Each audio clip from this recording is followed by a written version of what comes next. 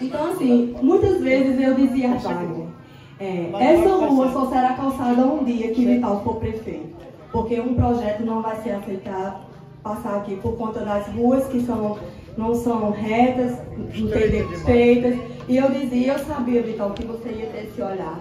E sabia que isso ia só acontecer quando o senhor fosse prefeito. Em 2021, o senhor calçou a minha rua, que hoje leva o nome Maria Lins da Conceição. Não uso mais Padre Joel, mas eu, eu me sinto da rua Padre Joel, porque eu usei esse endereço por muitos anos. Então, como moradora da Padre Joel, só tenho minha gratidão, prefeito, por todos eles cuidado, que eu digo não só na infraestrutura, mas como na educação e na saúde. Sou muito grata em fazer parte da sua gestão.